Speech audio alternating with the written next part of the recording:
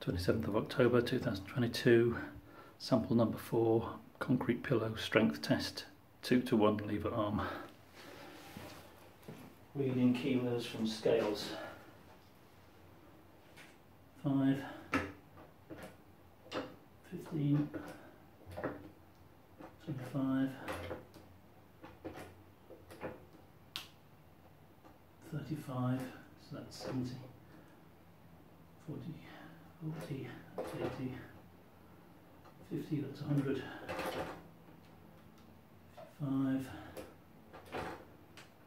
60, that's 120, 65,